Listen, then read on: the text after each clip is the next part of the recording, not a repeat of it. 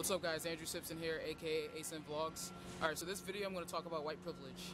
The reason why I'm talking about it is because there's so many instances in my life recently where people have brought it up, and I just want to say my two cents on it and then be done with the issue forever. Alright, so let me start off by defining what privilege is and then what white privilege is. So privilege in general is, give, is a group based on their ethnicity, race, gender, uh, or any other differentiator that we have causing them to have a distinct advantage over people who do not fit in that same group. White privilege is white people having specific illicit advantage that other people are not having because of the color of their skin.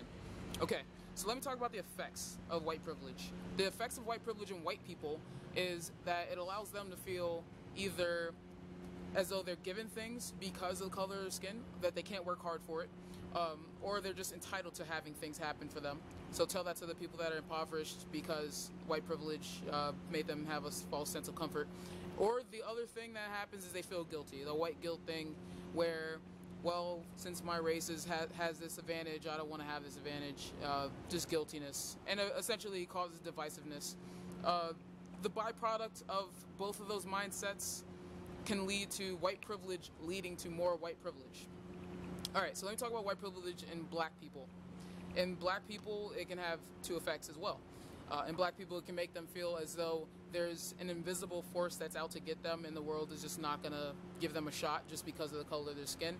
Or there's people like me who are potentially too arrogant or confident to believe that their race has anything to do with their level of success. Okay, so my problem with it is for the first point for black people, it, it creates the mindset of, you know what, anything bad that happens in my life, I can blame it on my race, which means that it's a scapegoat. I can make sure that I don't have to do everything uh, possible to win. Now, let me be very clear, because I know some people that's going to ruffle some feathers.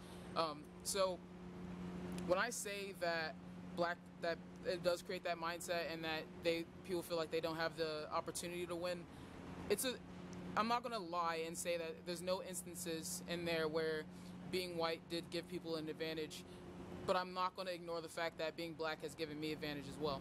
So when we're talking about me specifically, uh, someone brought up an example. They said, "Hey Andrew, if you and Joe, uh, Joe's a white guy and you're a black guy." If you and Joe go up for the exact same job and you have the same credentials, then nine times out of ten they're going to go with Joe. And to that I said, maybe if I was just some random black guy, then yeah, maybe. But if it's me versus Joe, nine times out of ten, I want to kick Joe's ass. Like, Joe's fucked going against Andrew Simpson. If you're talking about me specifically, because I'm going to outdo him, because I understand that, yeah, there could be a chance that he'll have an advantage due to uh, what I'm going to explain after I'm done making this point. So, I am forced to be exceptional. Uh, there's a this video an interview with Childish Gambino or Donald Glover, whichever way you know him as, where he was talking about how whiteness is blankness, and it's mainly it's just because there are more white people in the world than there are black people. If there were as many black people in the world as there were white people, not in the world, in America, as there were white people, then chances are there'll be more successful black people uh, that can be able to do the exact same thing and create more black privilege. Now, to be very, very, very honest.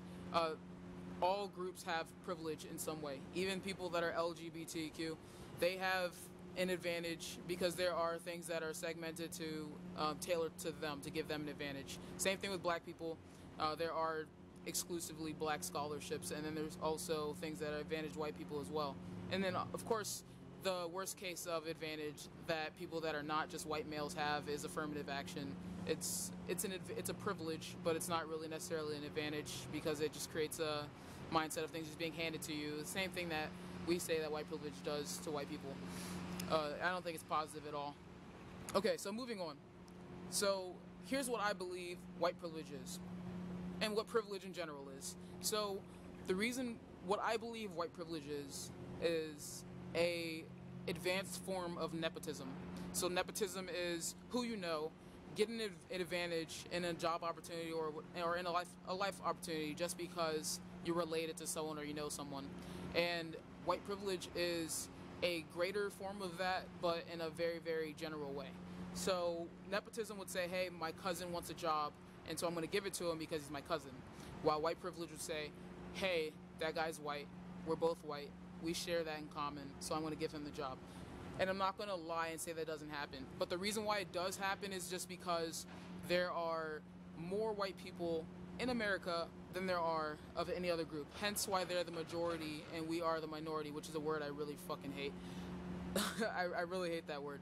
But anyway, yeah, so you have to think about it like this. It's like when a feminist says that we have a rape culture because a rape happens. Because rape happens, it doesn't mean we accept it. The, I would like to argue that the majority of the people in the world, in America, I keep saying the world, but the majority of the people in America do not think that white people should have an advantage over any other group. Hence why we do not live in a white privilege culture. However, there are so many more white people than there are uh, just everyone else in America that there are more instances where it's possible, where it's the realm of possibility for them to look out for another person.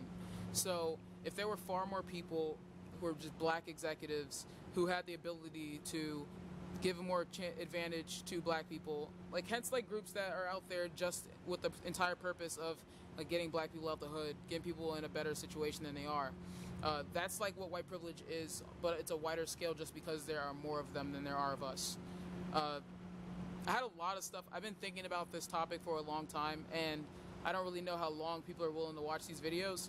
So I'm going to end it here, but there's a lot more I have to say. So if this does spark a debate, I'm going to post this on Facebook. So if anyone wants to debate with me in the future, uh, if you watch this this YouTube video five years from now when when Someonew has made it, then I'm more than happy to engage or at least make a follow-up video.